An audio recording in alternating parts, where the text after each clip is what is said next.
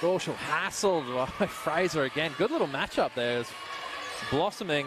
Chelsea Brook open for a three. Bang! Knocks it down. Kicks it back out to Paris for three. Just rims out. Loose ball. Virgo comes up with it. Chelsea's going to have a three now. Knocks it down. She's starting to feel it from beyond the arc.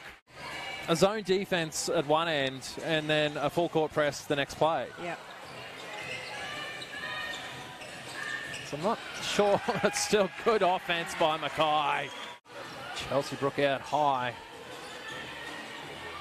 Not much movement happening right now. They're definitely going inside more so as Tompkins shoots that one for two from 15 feet. Burke hands it off to Page. Back out to Amy Lewis. It's going to go all the way. No good on that occasion. Chelsea Brook comes up with the rebound and she's going to run the floor.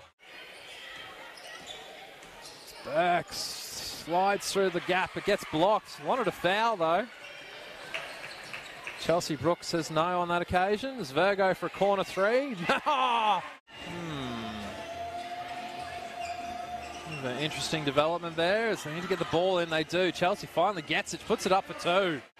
I would like to think so, but I don't think it will. As McGregor comes up with a turnover. Oh, Chelsea Brook blocks that shot though. Good defense. And Satiri Rasova checks back in.